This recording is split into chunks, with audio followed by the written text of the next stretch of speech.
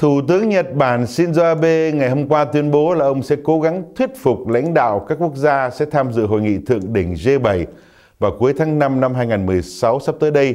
thành lập một mặt trận chung thống nhất nhằm chống lại các hành động gây hấn của Cộng sản Trung Quốc tại Biển Đông.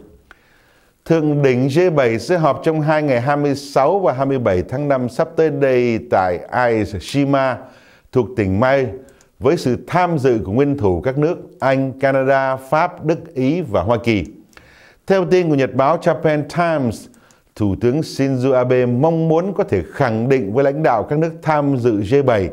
về tầm quan trọng của việc tuân thủ các phán quyết của tòa án dựa trên luật quốc tế.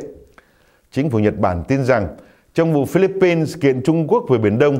Tòa án trọng tài Liên Hợp Quốc tại La Hay sẽ đưa ra phán quyết là những đòi hỏi chủ quyền lãnh thổ của Bắc Kinh đối với hầu hết toàn bộ diện tích Biển Đông là hoàn toàn không hợp pháp. Thủ tướng Abe cũng hy vọng trong một phiên họp G7 mở rộng, Nhật sẽ đạt được sự ủng hộ của nhiều quốc gia châu Á khác, bao gồm các quốc gia đang tranh chấp tại Biển Đông hồi tháng 4 năm 2016 vừa qua, thì tại hội nghị ngoại trưởng nhóm G7 được tổ chức tại thành phố Hiroshima,